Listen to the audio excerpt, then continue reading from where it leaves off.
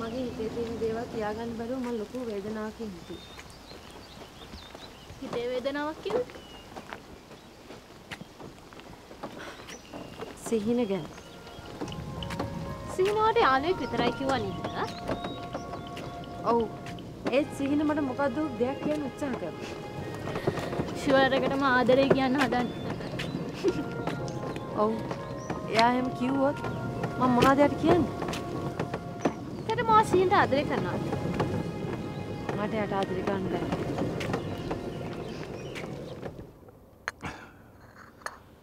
ඔන්න මිට කරල්ලියද්ද දැන් වෙඩින් එකට අවශ්‍ය කරන සේරම දේවල් හරි. අපිත් සේරම හරි. හෝම් කමියකට හොටෙල්ස් බුක් කරා. එතකොට අනිත්‍යයන වැඩ ටිකත් ඔක්කොම ඉවරයි. නේද ගලි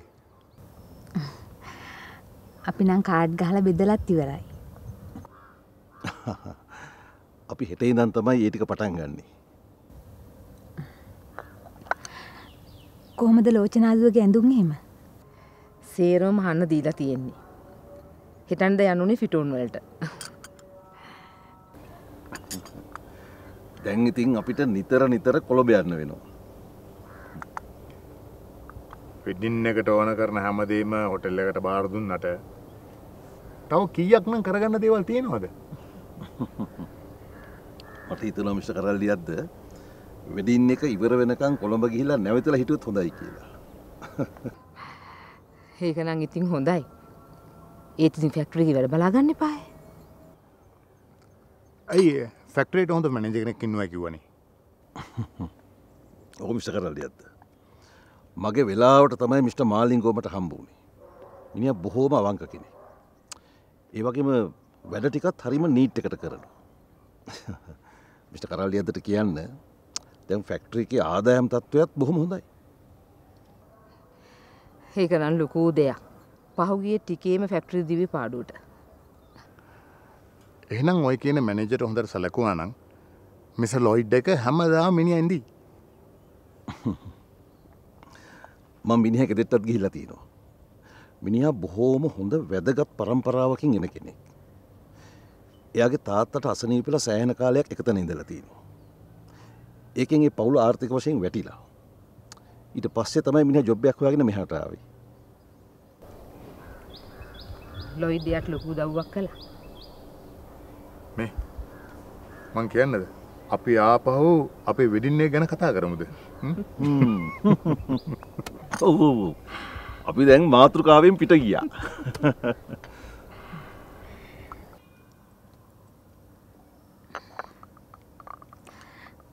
වෙඩින් එකෙන් පස්සේ ලෝචනාට සිද්ධ වෙනවා කොළඹ ඇවිත් නතර වෙන්න.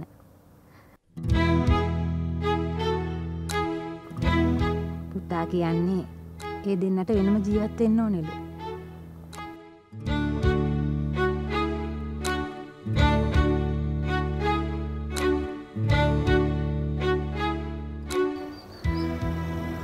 නිත්‍ය ලස්සන පනක්තක් දාලා ඇයි අපි කොළඹ යන්නේ රෝචනා මෙහ තියෙන ලස්සන විතරයි. තාමනා දෝනිවාට ජීවත්තෙන් සල්ලි වල රෝචනා අත් මිහින්දර හරියන්න සල්ලි ගන්න නම් කොළඹ ඉන්නවා සල්ලි සල්ලි සල්ලි. ඔය අර්තින සල්ලි ඇතිගෙම්හාන අපි දෙන්නට සතුරින් ජීවත් වෙන්න. ඩෙඩිත් කිව්වා අටලොකු දෑවැත්දත් දෙනවයි කිය ආ දැන් මොනවද ඔයගලගේ ඩැඩි මට දෙන්න යන්නේ? ඩැඩී කිව්වා ඩැඩීගේ දේපල වලින් භාගයක් මට දෙනවා කියලා. අනිත් භාග නංගිට දෙනවයි කිව්වා. ඒ හැම දෙයක්ම අපි නංගිට දීලා අපි කොළඹ යමු.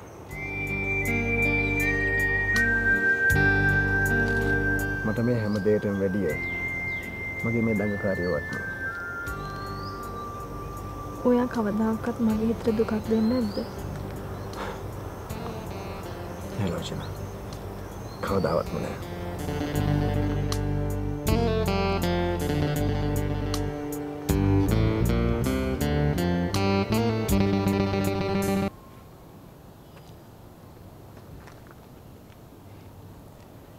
මාලිංග?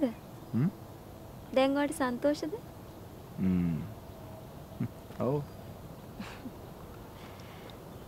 අම්මලා මොකද කියන්නේ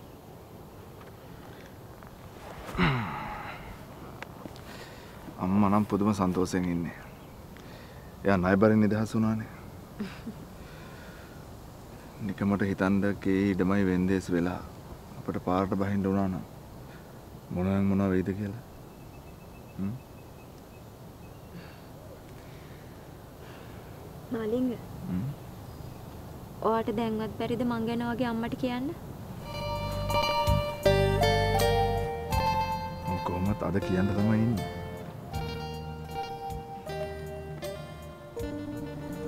මාලිංග ඔයාලගේ අම්ම මට කැමති වෙයිද? කැමති වෙන විදිහට මං කියන්නකෝ හ්ම්? ඔයාලගේ අම්ම කැමතිනොත් තමයි අපේ අම්මත් කැමති වෙන්න මාලිංග. බය නැතුව ඉන්නකෝ අපේ අම්මගේ ආශිර්වාද මට හම්බ වෙනවා කොහොමත් ඔයාලගේ අම්ම කැමති වුණොත් දැන් ඔය කියන්න හදන්නේ ඉක්මනට මැරි කරමු කියලා. ඇයි මාලිංගෝ අයකට කැමති නැද්ද? කොච්චර කැමතිද? ඔයා ඉක්මනට මගේ ළඟට ගන්න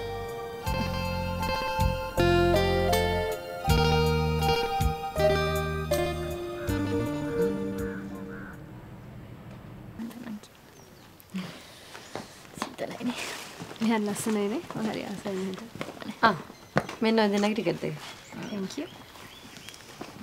මේ දවස් ටිකේ ඔය දෙන්න හිටපු හින්දා කිසිම පාළුවක් දැනුන්නේ නැහැ.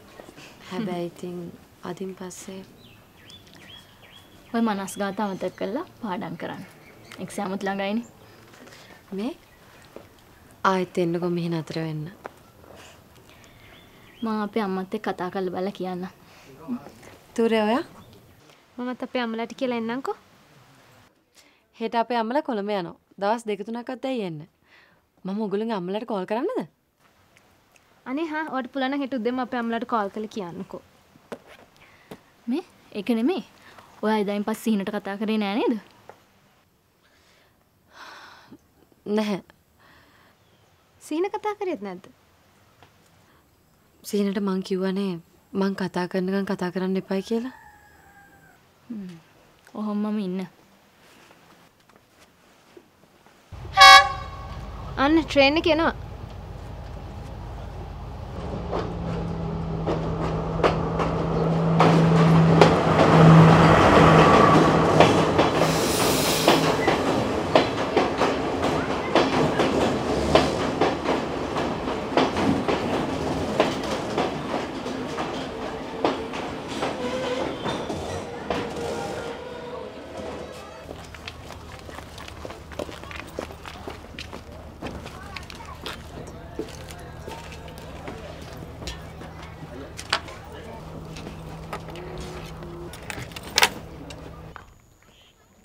පරිස්සමෙන් යන්න. කිව්ව දේවල් මතකයිනේ? අනිවාර්යෙන් අම්මගේ පර්මිෂන් අරන් එන්න. හරි. බයි.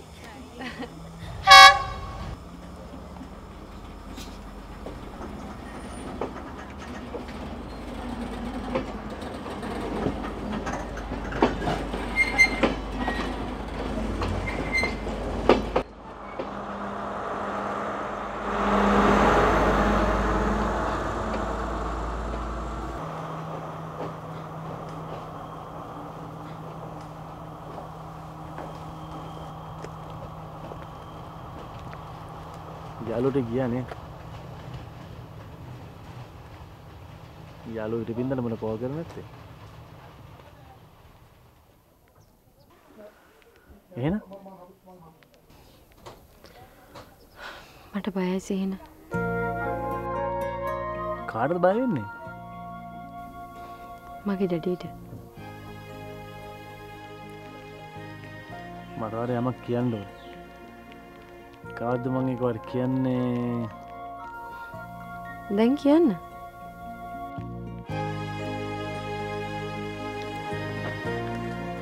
එද චර්ච්චකට එනවා හෙට නම් අපේ මම්මී ඩැඩි අකී කොළඹ යනවා.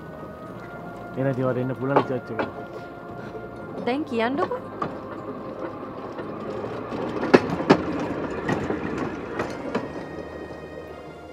ඒක එහෙම කියන්න බෑ. එහෙවනම යන්න.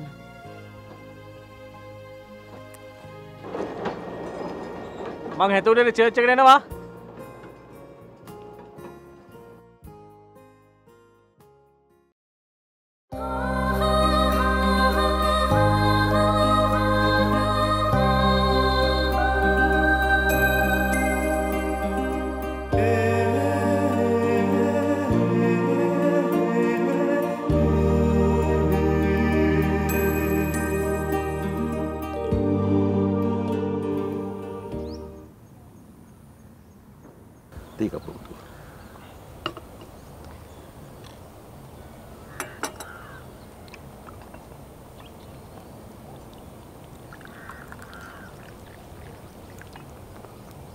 ඩැඩි අපි හෙට උදෙම්ම කොළඹ යනවද උදෙම්ම කියොත් තමයි හොඳ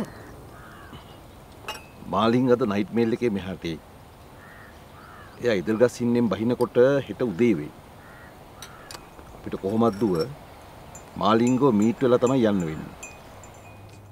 ඒ මොකද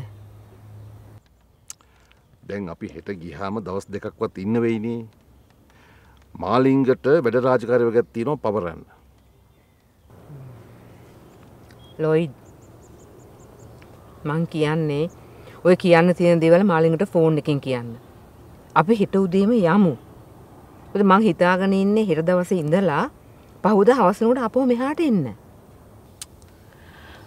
අනේ මමී ඇයි ඔච්චර හදිසි කරන්නේ අපිට කොළඹගින් කරන්න කොච්චර දේවල් තියෙනවද අනික ජෝලරි ශොප්සල්ටම දවසක් විතරයයි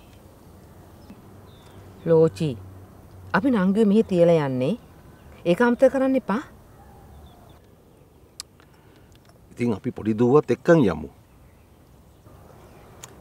එයාට පාඩන් කරන්න තියෙනවා කියනවනේ එයාට එන්න බැරිනම් එයා මේ හිටපුදේ ගෙදර අප්පු ඉන්නවා මැගී අම්ම ඉන්නවානේ අනිතක ඉතින් එයා හොස්ටල්ලකින් නිතනියමනේ නෑ නෑ නෑ. එයාවත් එක්ක අයියා. එයාට කැන ලැස්තු වෙන්නේ කියලා. ලෝචනා ගිම්මහන්ට කියන්න අපි හෙට හෙත් එනවයි කියලා. හා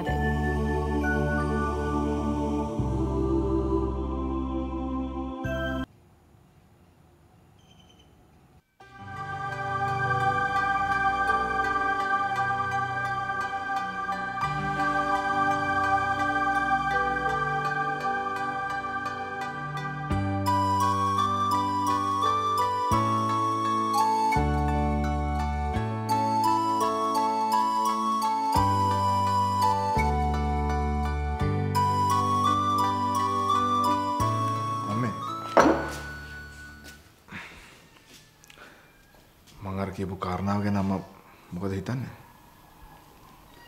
ඒ ළමයා පුතාට ගැලපෙනවද කියලා කොහොමද කියන්නේ? ගැලපෙනවා මේ මං එයාව දන්නවනේ. මං එයාව කාලයක් ආශ්‍රය කරානේ.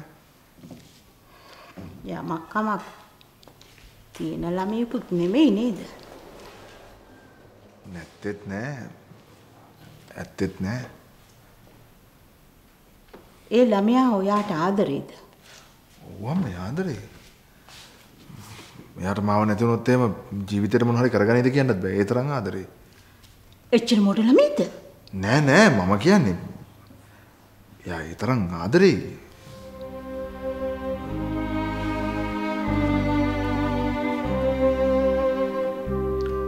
මම මොකද කියන්නේ? මම මේ සැරේ ගිහිල්ලා ආවෙන් පස්සේ ඒගොල්ලන් ගල් පැත්තේ ගිහින් යන්න. මං කල්පනා කරලා බලලා කියන්නකෝ.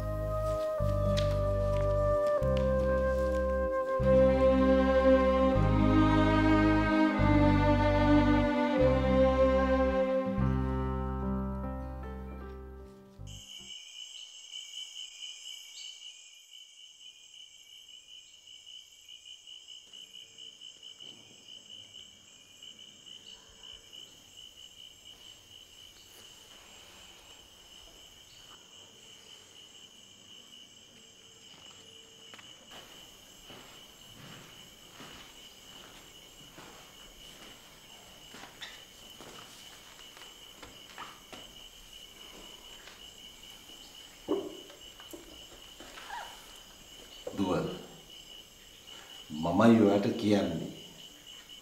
හෙට අපිත් එක්ක කොළඹ යන්න ලෑස්ති වෙන්න. අනේ මට බෑ ඩැඩි. හරි. අපි දවස් දෙකකින් ආපහු එනවා.